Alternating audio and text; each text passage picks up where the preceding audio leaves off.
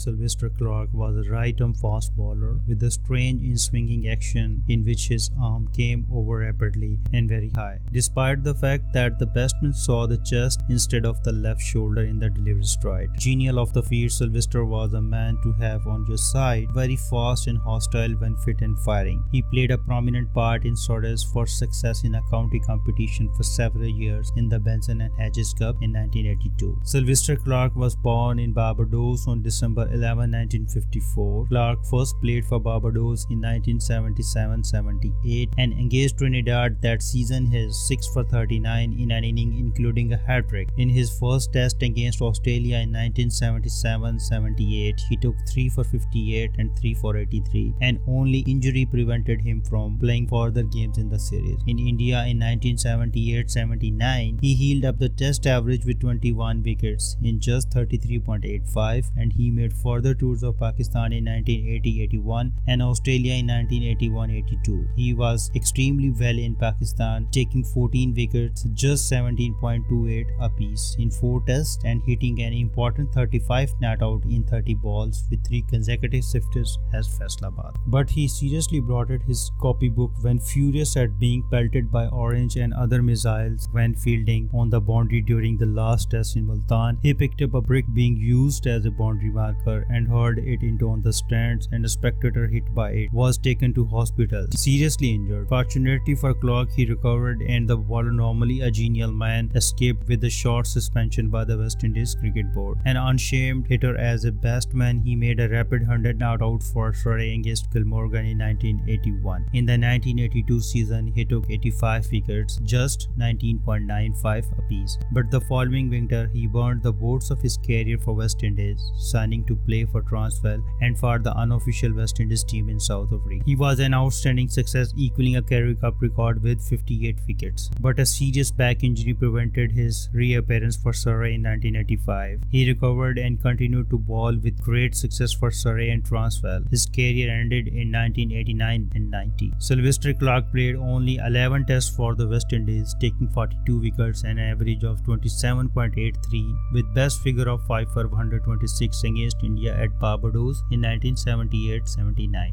He also captured three hat-tricks for Barbados in the regional Shell Shield competition. Speaking about his test career, Clarke once said he felt he did not get the break he deserved in the West Indies team. I don't think so I was fairly treated by West Indies selectors. I got the most wicket in India and they picked Malcolm Marshall for the next tour to Australia. All I want to do is playing cricket, he said in South Africa. Clarke also represent Northern Transvaal and Orange Free State in the first class competition there. His career best bowling figures were 8 for 62 against Northamptonshire at Oval in 1987. His record in all first class cricket was a fair indication of his qualities. In 238 matches, he picked up 942 wickets, cost him only 19.52 runs each. As a batsman, he scored 3,269 runs, average 14.79, and while fielding, held 146 catches. Clarke also appeared in 10 one-days international for West Indies from 1978 to 1982, taking 13 cheap wickets at just 18.8 runs apiece